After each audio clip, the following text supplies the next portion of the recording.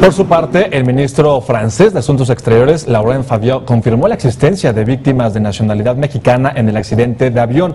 Fabiot citó sin precisar el número de víctimas de México al leer la lista de países que perdieron a algún connacional en el accidente. Indicó que además de alemanes y españoles entre los muertos, hay ciudadanos de Argentina, Australia, Bélgica, Colombia, Dinamarca, Gran Bretaña, Israel, Japón, Marruecos y Holanda. Por otra parte, los equipos de rescate reanudaron la búsqueda de las 150 víctimas. De acuerdo con las autoridades, una de las cajas negras que pudo ser rescatada se encuentra muy dañada, por lo que analizan si se puede recuperar su contenido. Asimismo, este día la canciller alemana Angela Merkel, el presidente francés François Hollande y el presidente del gobierno español Mariano Rajoy acudieron a la zona del siniestro para ser informados de la situación.